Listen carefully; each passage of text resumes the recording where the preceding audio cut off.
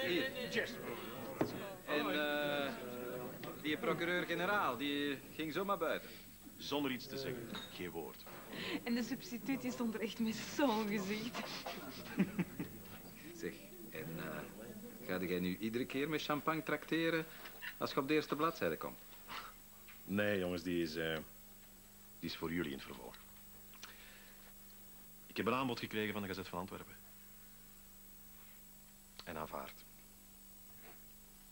Allee, je gaat ons toch niet in de steek laten?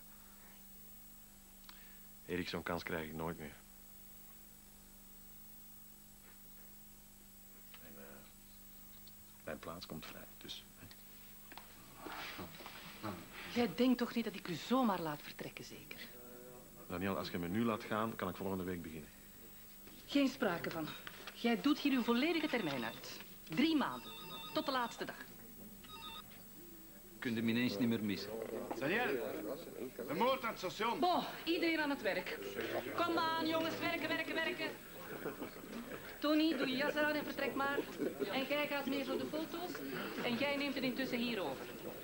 Verbrugge, je krijgt de eerste bladzijde. Maar ik wil de details. Alle, Alle details.